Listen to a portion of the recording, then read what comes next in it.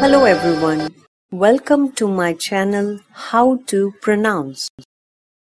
In this video, we are going to pronounce a new word. Let's get started. Have to do with. Have to do with.